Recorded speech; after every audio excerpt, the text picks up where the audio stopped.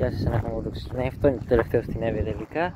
Ε, την αποχωριστήκαμε ακόμα και η Χαλκίδα. Εδώ η γέφυρα Ευρυπού, Ευρύπου, δεν ξέρω, η καινούρια.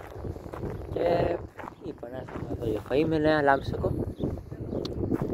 Στο πρώτο το 16 που σας είπα, θα φτάσει μέχρι κάτω, μέχρι κάτω κάτω. Και ό,τι άκου, με ελεύθερα.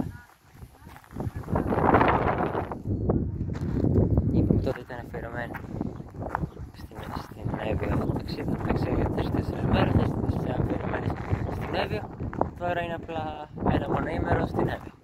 Τίποτα, μονοήμερο. Αφιερώνει τέσσερις και αυτό, επιστροφή Αθήνα. Η θάλασσα δεν είναι για να βδείξει, κατά ψέματα, είναι γεμάτο σαν λίμνη είναι. Και είναι για ήρεμη, θυμάσαι τι. Από την άλλη μεριά έχει κύματα έτσι.